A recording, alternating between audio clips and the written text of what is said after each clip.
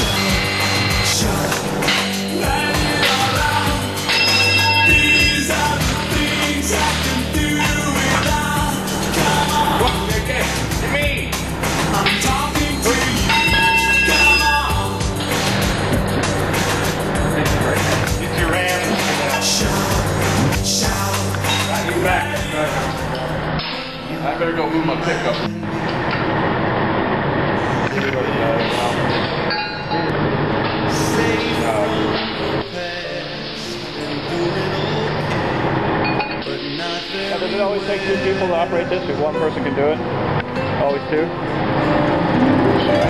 Finish your. Okay.